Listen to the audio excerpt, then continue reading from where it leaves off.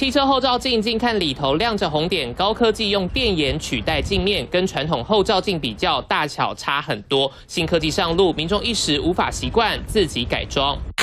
细细扁扁电影后照镜，但有民众上头插了一根三洋野狼后照镜来辅助。这辆车引发网友热议，说虚拟后照镜太高科技。还有人说这一根伤害不大，但侮辱性极强。试乘过的朋友还说电子投影真的不习惯，只能当辅助。好处就是它可以看得到旁边的死角，跟范围比较广，比较可以增加一些视野的盲区，或者是一些从旁边。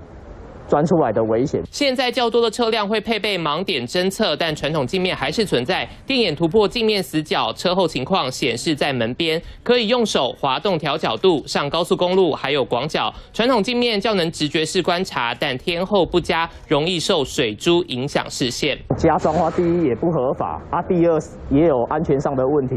那。